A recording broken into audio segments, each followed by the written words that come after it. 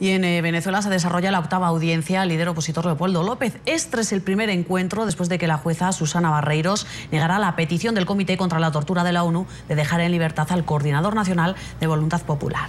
A esta hora saludamos a Daniela Zambrano, periodista NTN 24 Caracas, quien se encuentra en el Palacio de Justicia. Daniela, buenas tardes. Hola, buenas tardes. En esta oportunidad me encuentro a unos 500 metros del Palacio de Justicia y es que como ven en sus pantallas la seguridad ha sido reforzada. El piquete de la Guardia Nacional abarca aproximadamente cinco cuadras. Esto no solo por la audiencia de juicio contra Leopoldo López, sino también por un concierto que habrá en la Plaza Diego Ibarra. ¿Qué se tiene previsto para el día de hoy? Que el dirigente opositor Leopoldo López ingrese a la sala de juicio, pero solo para tomar la palabra y emplazar a la juez que se pronuncie luego del informe emitido por el Comité contra la Tortura de la Organización de Naciones Unidas que también pidió su liberación inmediata. Posteriormente saldría de la sala y esperaría afuera. Esto como medida de protesta para exigir un pronunciamiento por parte de la Corte de Apelaciones en su caso. Escuchemos las declaraciones que ofrecía más temprano su abogado Juan Carlos Gutiérrez.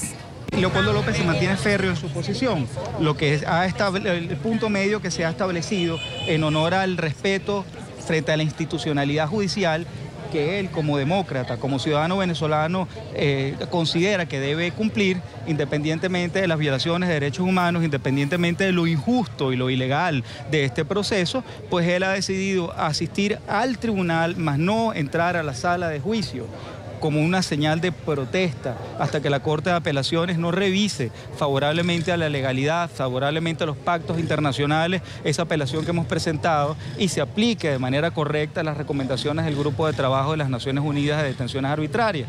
Ahora se nos abre el abanico de posibilidades frente a la petición de libertad del Comité contra la Tortura, petición que le hemos entregado el día de ayer a la juez.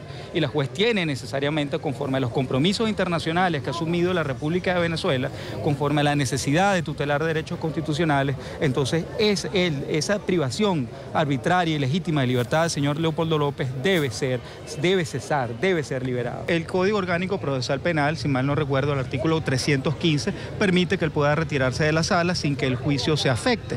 E insisto, no hay una situación de contumacia, no hay rebeldía por parte de Leopoldo López y el juicio puede continuar aún en su ausencia.